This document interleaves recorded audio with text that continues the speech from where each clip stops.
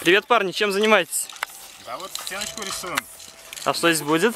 Будет гравюра, гравюра города, точнее, вид, вид на город в стиле гравюры. Ага, это сложная работа, не подскажете?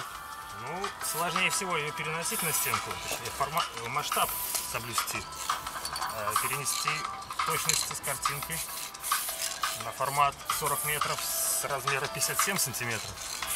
Ага. И когда гродницы смогут увидеть это творчество ваше? А вот это неизвестно.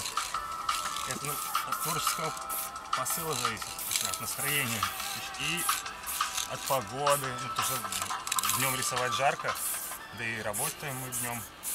По вечерам продолжаем, Угу. потому что начали.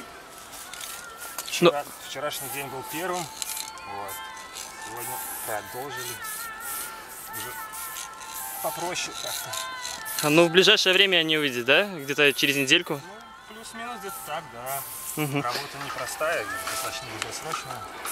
Угу. Ну, спасибо, удачи вам. Спасибо.